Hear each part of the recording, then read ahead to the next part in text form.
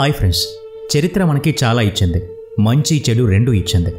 చరిత్రలో జరిగినవి వింటే మన రక్తనాళాల్లో ప్రవహించే రక్తం వేగంగా ప్రవహిస్తుంది. అలాంటిదే పద్దెనిమిదవ శతాబ్దంలో జరిగిన పాణిపత్ మూడవ యుద్ధం. అందులో ఒకే రోజు వేల సైనికుల్ని మృత్యు కబళించింది. అసలు ఈ యుద్ధం ఎందుకు జరిగింది? దాని గల కారణాలేంటో ఈ రోజు వీడియోలో తెలుసుకుందాం. Let start our today's episode పద్దెనిమిదవ శతాబ్దం ప్రారంభంలో ఔరంగజేబ్ మరణం తర్వాత మొఘల్ సామ్రాజ్య పతనం మొదలైంది. ఇంకోవైపు మరాఠాలు దేశమంతటా విస్తరించసాగారు. పీష్వా బాజీరావు ఒకటి రాజ్పుత్ గుజరాతీ రాజులు మరాఠాలతో కలిసిపోయారు. మరాఠాలు భారతదేశమంతా విస్తరిస్తూ పోతూ ఉన్నారు. ఉత్తర భారత ప్రాంతంలో మొదట ఎక్కడ మొఘల్ సామ్రాజ్యం ఉండేదో అది ఇప్పుడు మరాఠా చేతుల్లోకి వెళ్ళిపోయింది.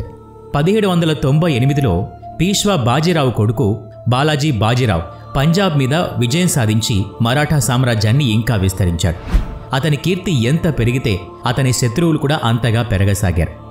మరాఠాలు ఆఫ్ఘన్ను కూడా దక్కించుకున్నారు. కానీ ఇప్పుడు మరాఠాలు ఆఫ్ఘన్ రాజ్ మహమ్మద్ షా అబ్దాలీని ఎదుర్కోవాల్సి వచ్చింది. ఆఫ్ఘన్ సరిహద్దుల్లో ఉన్న మరాఠాల్ని చూసి అబ్దాలీ పదిహేడు వందల యాభై తొమ్మిదిలో పస్తూన్ బలూచ్ జనజాతుల్ని ఒకటిగా చేసి భారీ సైన్యాన్ని తయారు చేశాడు. ఈ సైన్యాన్ని తీసుకుని భారతదేశం వైపు వచ్చాడు. దారిలో ఉండే చిన్న చిన్న రాజ్యాల్ని నాశనం చేస్తూ పోయాడు. ముందుకు వస్తున్న అబ్దాలిని ఆపడానికి పేష్వా ఒక విశాల సైన్యంతో పానీపత్లో అబ్దాలిని చుట్టుముట్టాడు. పదిహేడు వందల అరవై ఒకటిలో పానీపత్ మూడవ యుద్ధం ప్రారంభమైంది. అటక్ నుంచి కటక్ వరకు బాగ్వా ఎగురుతూ ఉంటే పదిహేడు వందల అరవైలో శివాజీ మహారాజ్ కలగన్న సంపూర్ణ భారత్ నిజమయ్యే సమయం ఆసన్నమైంది. పదిహేడు వందల తొంభై ఎనిమిదిలో మరాఠాలు ఢిల్లీ సహా లాహోర్ను కూడా దక్కించుకున్నారు. తైమూర్ షా దుర్రాన్ని అంతం చేశాక మరాఠా సామ్రాజ్యం ఉత్తరాన సింధు నుండి హిమాలయాల వరకు దక్షిణ మైదానాల నుండి ఆఫ్ఘన్ లోయల వరకు విస్తరించింది. ఆ సమయంలో మరాఠా కమాండ్ పీష్వా బాజీరావు కొడుకు బాలాజీ బాజీరావు చేతుల్లో ఉంది. బాలాజీ ఢిల్లీలో శివాజీ మహారాజు ద్వారా సామ్రాజ్యాన్ని నిర్మించాలనుకున్నాడు. తన కొడుకు విశ్వాసరావుని ఢిల్లీలోని మొఘల్ సింహాసనం మీద కూర్చోబెట్టాలనుకున్నాడు.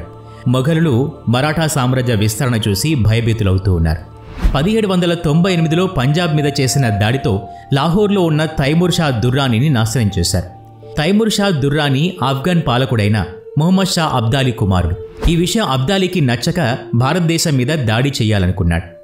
మొదట అతను మరాఠాలు తక్కువగా ఉన్న పంజాబ్ మీద దాడి చేశాడు. అబ్దాలీ కశ్మీర్ ముల్తాన్లను దక్కించుకున్న తర్వాత ఢిల్లీ వైపు బయలుదేరాడు. అతను తన విశాల సైన్యంతో ఢిల్లీలో నిలిచి ఉన్నాడు. మరాఠాలకు కోపం వచ్చి అబ్దాలికి వ్యతిరేకంగా యుద్ధం ప్రకటించారు. ఇది చరిత్రలో నిలిచిపోయే రోజు. మరాఠాలు అబ్దాలితో యుద్ధం మాత్రమే కాక బెంగాల్లో విస్తరిస్తున్న ఆంగ్లేయుల్ని కూడా ఆపాలనుకున్నారు. మరాఠాలు భారతదేశం నుండి విదేశీయుల్ని తరిమికొట్టాలని శబదం చేశారు. మరాఠాల వద్ద విశాల సైన్యం ఉంది. అయినా వాళ్ళకు వేరే రాజుల సమర్థన కూడా అవసరం. శివాజీ మహారాజు సమయంలో మరాఠాలకు రాజ్పుతులకు దృఢమైన సంబంధం ఉండేది. పదిహేడు వందల యాభై వస్తూనే మరాఠాలకు రాజ్పూతులకు మధ్య సంబంధాలు చెడిపోయాయి. పద్నాలుగు ఏప్రిల్ పదిహేడు వందల అరవైన మరాఠా సేన భావు సదా శివరావు సైన్యం పీష్వా నేతృత్వంలో పూణే నుండి ఢిల్లీ వైపు వెళ్ళింది. మరాఠా సైన్యం ప్రారంభంలో యాభై వేలు ఉన్నప్పటికీ ముందు కదులుతున్న కొద్దీ సైన్యం పెరగసాగింది. ముందుకు వెళ్తున్న మరాఠా సైన్యంలో దారిలోని రాజులు అనుభవం కల యోధులు కలవసాగారు. ఇబ్రాహీం ఖాన్ కూడా మరాఠాలకు మద్దతుగా నిలిచాడు. అతని దగ్గర ఫ్రాన్స్కి చెందిన రైఫిల్స్తో పాటు ఎనిమిది వేల మంది సైనికులు ఫ్రాన్స్లో శిక్షణ తీసుకుని ఉన్నారు. ఇతని దగ్గర రెండు వందల యుద్ధ ఫిరంగులున్నాయి. ఆగ్రా చేరుకున్న తర్వాత మల్హర్రావు హోల్కర్ జుంకేజీ సింధియా కూడా తమ సైన్యంతో మరాఠా సైన్యంతో కలిసిపోయారు. ఇలా ఢిల్లీ చేరుకునేసరికి వారి సైన్యం రెండు లక్షలకు చేరుకుంది. ఢిల్లీకి చెందిన నజీబ్ ఖాన్ అబ్దాలీకి ప్రత్యేక ఆహ్వానం పంపాడు. అబ్దాలీ భారతదేశాన్ని దోచుకోవడానికి రాలేదు. ఢిల్లీలోని మొఘలుల నుండి సింహాసనం తీసుకోవాలనుకున్నాడు. అందుకని ఢిల్లీకి ఉత్తరాన ఉన్న ఆఫ్ఘనీయులను తన వైపు తిప్పుకున్నాడు. మకర సంక్రాంతి రోజు అంటే పద్నాలుగు జనవరి పదిహేడు వందల అరవై ఒకటవ రోజున రెండు సైన్యాలు ఎదురుపడ్డాయి. మృత్యుతాండవం మొదలైంది. ఇబ్రహీం ఖాన్ ఫిరంగులు యుద్ధంలో విధ్వంసం సృష్టిస్తున్నాయి. మరాఠాలు చరిత్ర సృష్టిస్తారు అనుకుంటూ ఉండగా సాయంత్రానికి యుద్ధం పూర్తిగా మారిపోయింది. రెండు వైపులా నలభై వేల మంది సైనికులు మృత్యువాత పడ్డారు. పీష్వా బాజీరావు కుమారుడు విశ్వాసరావు జస్వంతరావు పవార్ జుంకోజీ సింధియా లాంటి వాళ్ళు స్వర్గస్థులయ్యారు.